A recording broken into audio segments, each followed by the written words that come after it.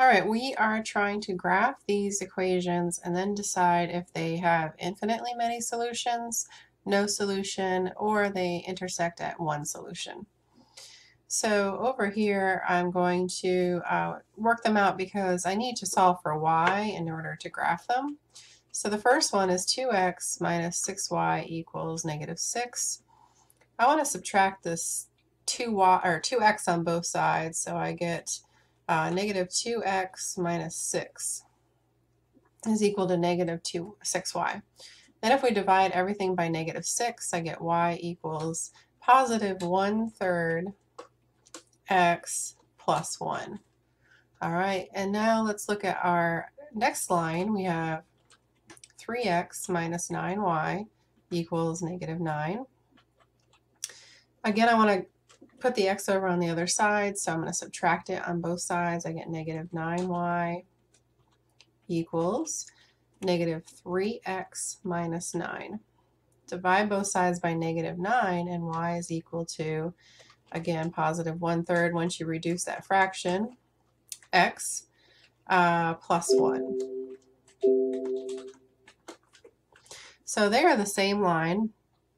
So with my line tool here, I want to start at uh, 0, 1, the y-intercept, go up 1 and over 3.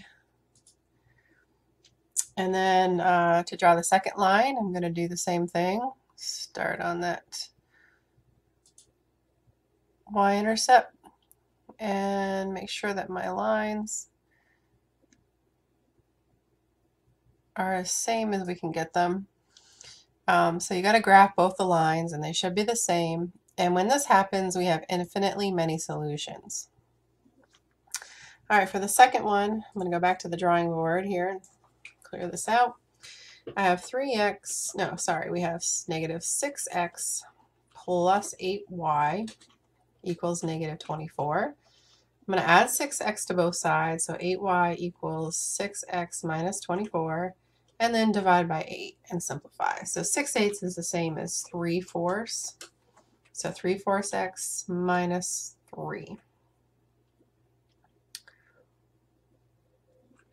All right, in the second one, I have negative 3x plus 4y equals negative 8.